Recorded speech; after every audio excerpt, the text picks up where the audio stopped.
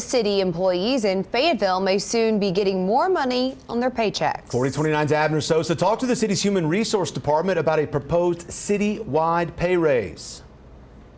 If approved, approximately 784 city employees would get a raise starting in April.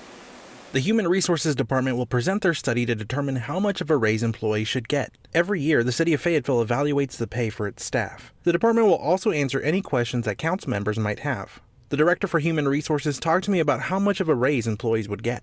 It depends. Um, the structure movement that we're looking at is about 6.34% for those non uniformed positions.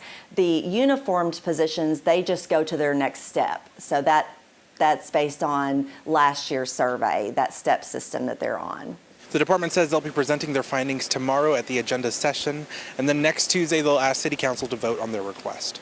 Reporting in Fayetteville, Abner Sosa, 4029 News.